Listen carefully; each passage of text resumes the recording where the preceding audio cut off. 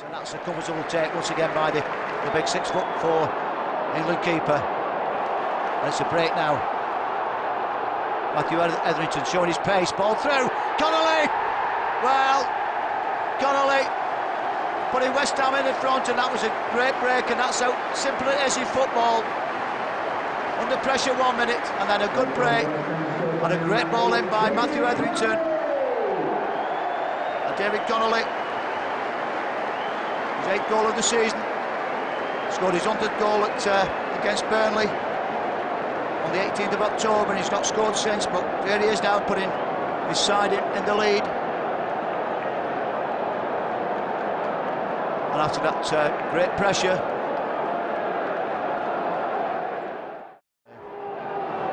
Graham Alexander put a telling ball into the area. Well, if somebody's got measles in that penalty area, they're all going to have it after the game because they're that close to each other. Alexander puts the ball in. Lucketti with the FNZ. Ricardo Fuller, yes! Great work from uh, Chris Lucketti and Ricardo Fuller gets his 15th goal of the season. Well, he's had a lot of banging, a lot of bumping, and a few minutes ago, you might have thought that uh, we weren't going to see any more of Fuller. He's doing a little dance with the Claude Davis celebrating that goal. Let's see, frustration of the man. He's been frustrated.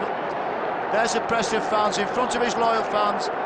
A tremendous amount of travel to London. I think that a lot of them will be going down to Reading on Tuesday for the cup replay. But here at Upton Park, Ricardo Fuller with his 15th goal of the season puts Preston North End level. Everything to play for. It's near touchline. Puts the ball in, wide. Once again won by Lucketti. Fuller battling for it. And a great save by James.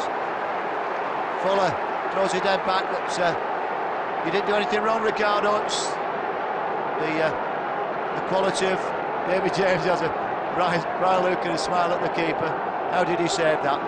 But ten road, it's a corner. Graham Alexander. Healy. And it's there! By David Healy. His eighth goal of the season. And within three minutes, Preston have gone from 1 0 down to 2 1 up. Healy taking the applause of the fans. A great strike. Well, he reacted quicker than anybody else from that low corner from uh, Graham Alexander. And there's the Preston fans. Well, they're telling the home fans now what it's all about. Revenge is sweet. Let's hope it stays that way. And that's uh, 67 minutes. David Healy with his eighth goal of the season makes it 2-1 for Preston North End.